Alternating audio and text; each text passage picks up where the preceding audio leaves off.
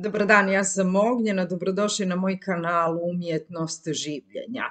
E, danas ćemo razgovarati o dvojbama, znači o nedoumicama i dvojbama. To je jedna e, po meni bitna tema, a jako često problematika, osobito u radu.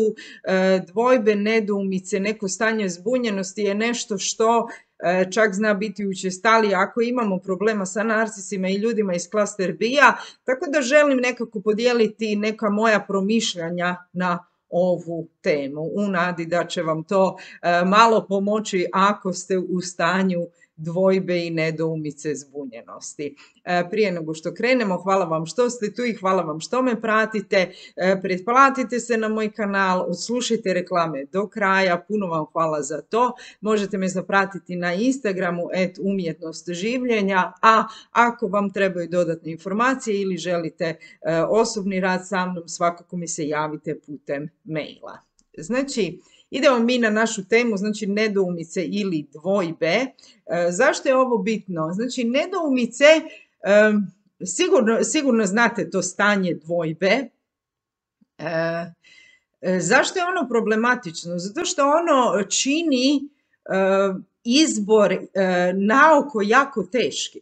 Znači, mi smo u nedoumici zato što ne znamo izabrati između dvije opcije kada se mi, kada mi dođemo u nedoumicu, smo mi u dvojbi, kada su dvije opcije, znači kada imamo mogućnost izabrati samo jedno, a kada je izbor između dva vrlo, e, vrlo blizak, znači mi, razlike između dva izbora i razlika između ishoda, ta dva izbora nam se čini minorna, i svaki izbor nam u sebi ima nešto privlačno. Znači,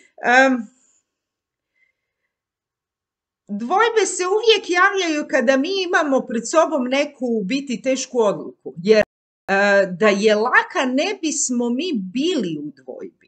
Znači, to je, to je prva stvar koju nekako e, je bitno usvojiti. Jer da je, lako, da, da, da je izbor lak, ne bi postojala dvojba. Međutim, isto tako, ono što je bitno razumjeti je da biti u dvojbi nas ne čini neodlučnima.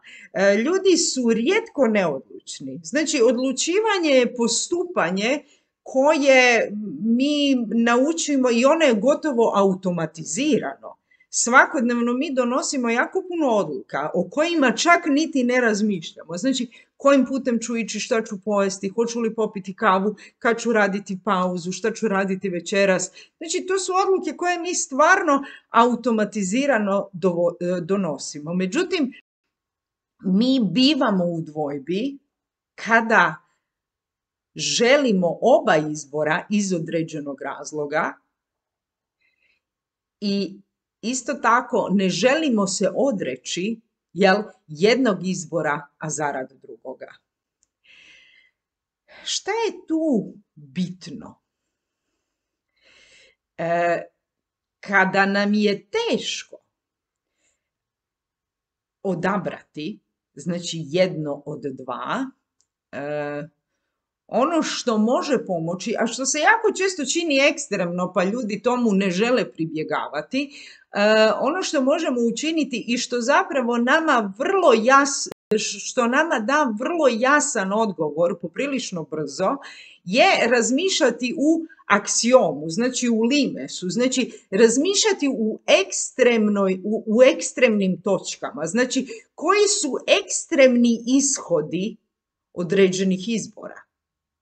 Jer mi kada vidimo rezultat, mi kada vidimo ekstremni rezultat, mi možemo vidjeti najgori ili najbolji mogući scenarij određene odluke.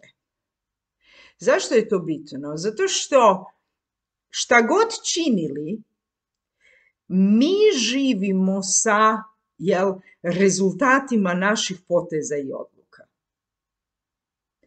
E, ljudi nama mogu davati savjete, ljudi nama mogu pomoći postaviti jel, pozicije i sagledati pozicije jel, u potpunosti. Međutim, činjenica ostaje da samo mi, znači koji donosimo te odluke, samo mi živimo sa tim odlukama i sa posljedicama tih odluka. Zašto je to dalje bitno? A u kontekstu dvojbe. Znači, e, odluke prije svega trebaju biti naše, ma kakve one bile. I jako često ono ljudi znaju biti, nekada budu dobronamjerni, ali jako često tu govorimo o dušebrižnicima koji uh, vole iskomentirati jel, naše odluke. Međutim, činjenica je da samo mi znamo zašto donosimo određene odluke, a zašto se ne odlučujemo za neke alternative. Ali isto tako, kako sam već rekla, samo mi živimo sa posljedicama naših odluka. U kontekstu dvojbe postoji jedna problematika koja nije zanemariva i koja bitno otežava dvojbu, a to je da priroda čovjeka je izabrati nešto što je lakše. Izabrati lakši put, izabrati opciju koja traži i podrazumijeva E, manje rada, manje napora, manje vremena, manje energije. Kada smo u dvojbi, e, mi smo skloni odabrati ono što nam se čini lakše. To je ljudska priroda. I tu dolazimo do potencijalno zapravo problema i opet ću se vratiti jela na e, citat velikog Fiorella Laguardije koji kaže kako je e, vraga jako lako prepoznati zato što ona nama dođe kada smo jako umorni i da nam jedan vrlo razuman zahtjev za koji mi znamo da ne smijemo na njega odgovoriti. Šta to u biti znači?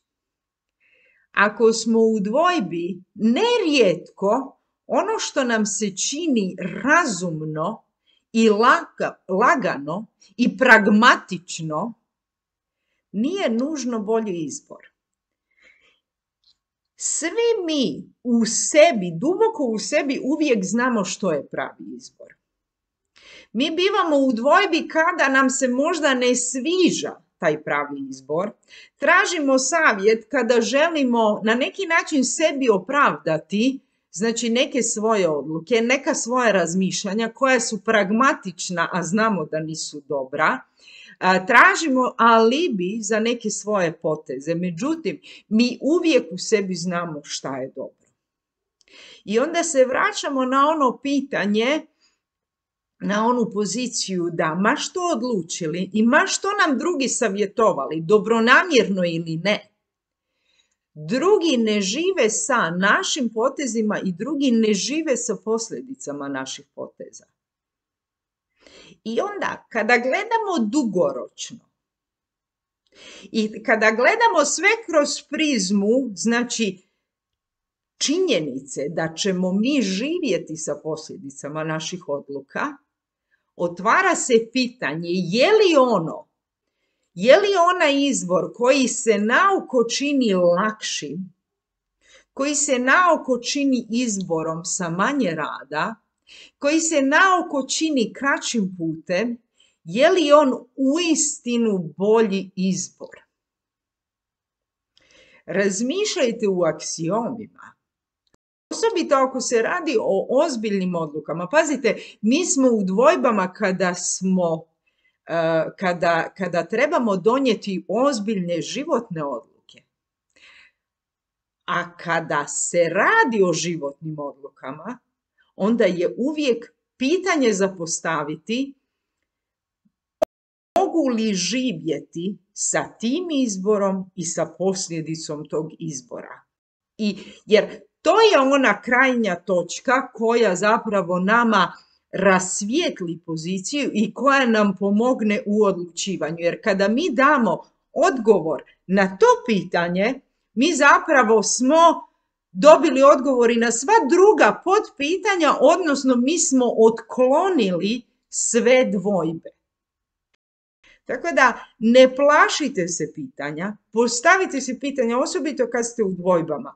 Ne plašite se razmišljanja i ne, ne žurite sa odlukama, jer ne moramo mi ništa odlučiti danas, sutra ili za sedam dana, ali ma što odlučili, neka su to uvijek naše odluke jer mi živimo sa njima i mi živimo sa posljedicama naših odluka.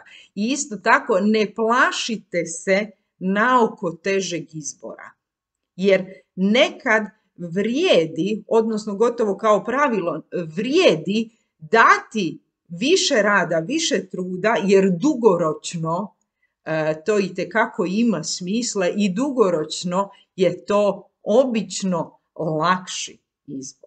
Tako da nemojte i to gubiti iz vida, razmišljajte dugoročno.